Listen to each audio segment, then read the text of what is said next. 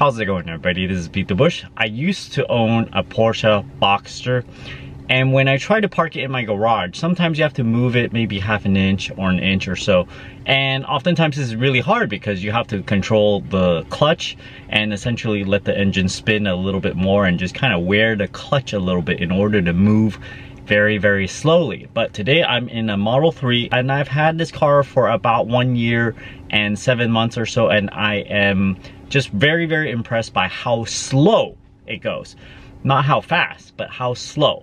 So let me show you guys. I'm in the parking lot right now, so I'm gonna try to go as slow as possible. First of all, I gotta get the rolling resistance. You can see on the road, I am moving. It says one mile an hour, but it actually can go slower than this. It's essentially a roll. I'm gonna try to go slower. Slower. Slower.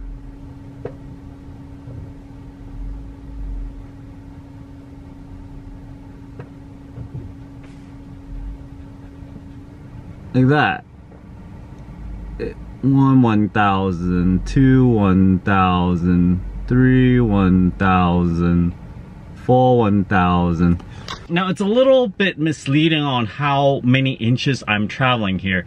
So I want to put the camera outside, look at the wheel itself and see how much I'm actually rolling. So here we go.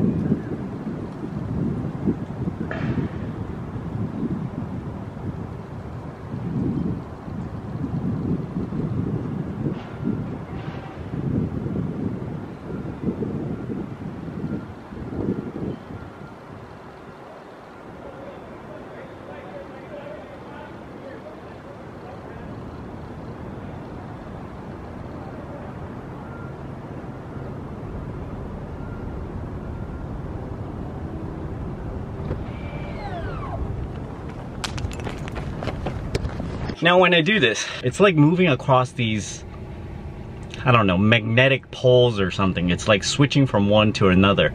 And it starts to get a little rough. You can kind of almost feel each tiny little bit of rotation when it changes the magnetism. You know, I don't know how many steps it has but um, you can almost feel it and you can even hear it as well. Let me turn off the air conditioning.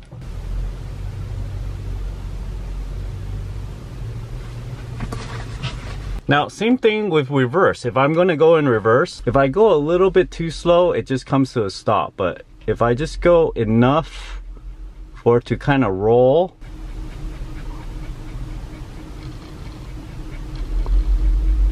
one one thousand, two one thousand. Oh, it's a little too fast now. One one thousand, two one thousand. It's less than zero mile per hour, so it's traveling less than that. Something less than one mile an hour. It's getting hot, so I'm gonna turn the air conditioning back on. I don't think I've seen this advertised as a feature before, but when I am backing up into my garage, I can actually move to a precision to maybe half an inch if I'm really careful or so.